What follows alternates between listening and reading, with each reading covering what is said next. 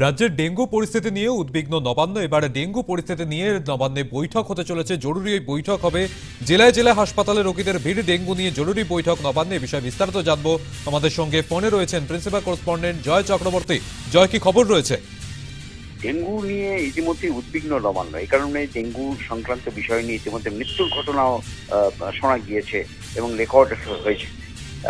স্বাস্থ্য দপ্তরের থেকে একটা রিপোর্ট তলব করা হয়েছে নবান্নতে, কারণ কোন কোন জায়গায় ডেঙ্গুর প্রভাব বেশি এবং সেক্ষেত্রে দাঁড়িয়ে মানুষের এফেক্ট কতটা হচ্ছে এবং কত সংখ্যায় যে এই যে পরীক্ষা নিরীক্ষা হচ্ছে, সেই পরীক্ষা নিরীক্ষার নিরীক্ষে কতটা ডেঙ্গুর প্রভাব বিভিন্ন জায়গায়, বিশেষ করে কলকাতার দক্ষিণ কলকাতা বা উত্তর কলকাতার কোথাও বা কলকাতার বাইরে যেখানটায় রয়েছে, সমস্ত জেলা থেকেও কিন্তু রিপোর্ট তলব করা হয়েছে। এই রিপোর্টটা পর্যালোচনা করার জন্য আজকে বিকেলবেলা নবান্নতে জরুরি বৈঠক ডাকা হয়েছে। মুখ্য সচিব হরিকৃষ্ণ দ্বিবেদীর নেতৃত্বে এই বৈঠক হবে।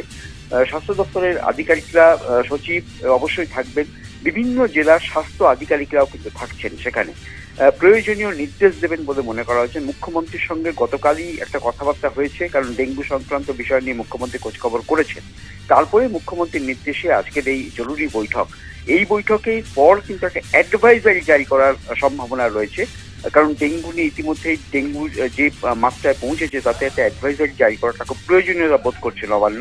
সেই কারণে স্বাস্থ্য দপ্তর কর্তৃক এই অ্যাডভাইজারি জারি হওয়ার সম্ভাবনা, তবে প্রথমে বৈঠক হবে নবান্নতে এবং পরিস্থিতি বিচার করার পরেই কিন্তু পর্যালোচনা করেই পরবর্তী সময় মানে একটা নির্দিষ্ট পদক্ষেপ নেওয়ার চিন্তা ভাবনা করছে নবান্ন। সেই কারণে কিন্তু জরুরি বৈঠক আজকে ডেঙ্গু সংক্রান্ত বিষয় নিয়ে বিকেলবেলা নবান্নতে হত্যা অনুষ্ঠিত হবে বলেই সূত্রের খবর।